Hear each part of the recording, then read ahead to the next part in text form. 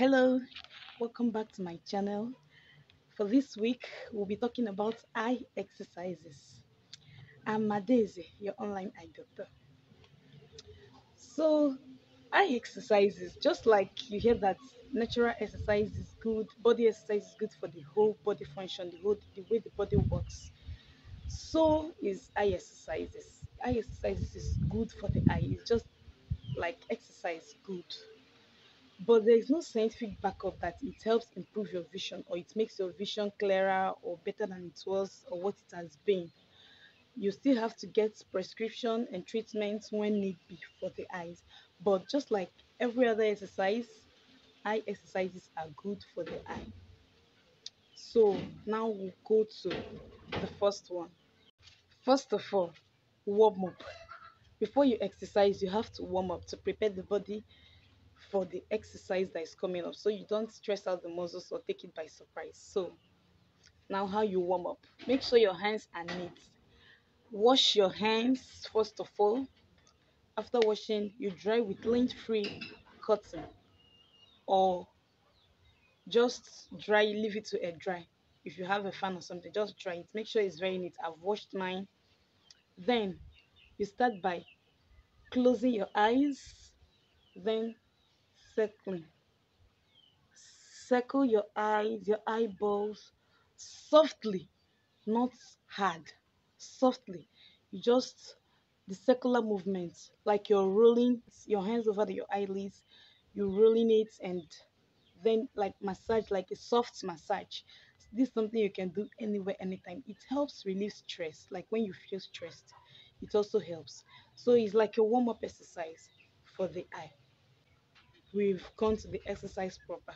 The first one you have to do, mm, talk about is far and near focus.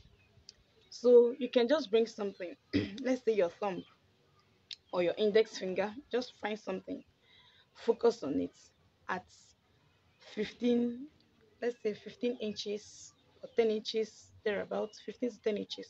Focus it before you, then look use your eyes to fixate. Look at it. Focus on it. Then when you fixate let's say three seconds you look to another another imaginary something. You're imagining that there is a, a target a target 20 feet or 15 feet. Let's just use 15 feet. So you look at that target. So you just focus then come back focus on your on your index finger that you're using at 10 inches to focus. Then if you focus you do it back and front back and front back and front for like five times. You can repeat it for five times. It can help you relax the muscles and everything. We talk about pencil push-ups. So you get a pencil before you a pencil and pencil just one pencil. Keep it 10 feet 10 inches from your face. Then focus on the tip of the pencil. When you focus on the tip then take it away from you. Take it as far stretch out your hands so that your hands will be straight. Then bring it back. Continue bringing it to your eyes until it's two. For some it will never be two. So bring it as close as you can then take it back to the former position, the first position. Then take it far again, stretching your arms, bring it close again to your face. You repeat this exercise for five times. It helps for those with crossed eyes, those with double vision. There's another one we call zoom. Zoom. So you bring an object 10 inches from your face or an index finger, whatever. Just bring it to your face 10 to 15 inches away from your face. Then focus on the tip or on the object. Focus on it, then bring it close to your face. You're zooming it in. So there's another we call 20-20-20 rule. This is very, very invaluable, especially to those that works with screen. You know that most of our works today, we have to use our laptop, our desktop screen, computer screens. Then we use our phones a lot. So this 20-20-20 rule says that you look at your screen for 20 minutes straight. After 20 minutes, you look away from your screen to an object 20 feet apart find an object maybe the wall of your office or whatever 20 feet apart from you then focus on that place 20 feet apart. Anything you can just draw and imagine you can just look at the wall you can just draw an imaginary object with your head and just stare at it stare at it for 20 seconds. So the rule is you look at your screen for 20 minutes look away and look at a point 20 feet apart from you then look at that point for 20 seconds. Then when you're done you can look back at your screen. Then after 20 minutes again you try it uh, we might forget but whenever you remember just remember to look away from your screen. 20 feet apart 20 seconds look back to your screen. I hope this helps. Then we have another one um like eight letter eight with your eyes. Letter eight and let and infinity the infinity symbol with your eyes. So you do it by rolling your eyeballs drawing the imaginary eight at the point away from you on the floor on the wall whatever wherever you feel like you're okay with. So i'll just de- demonstrate it with my eyes. So what you do is you look like you're drawing letter eight you roll your eyeballs without moving your eyes. I'm doing the infinity part infinity. Then you draw the normal letter eight roll your eyes like that roll your eyes without moving your head. You just roll your eyes like you're doing the letter eight or the infinity.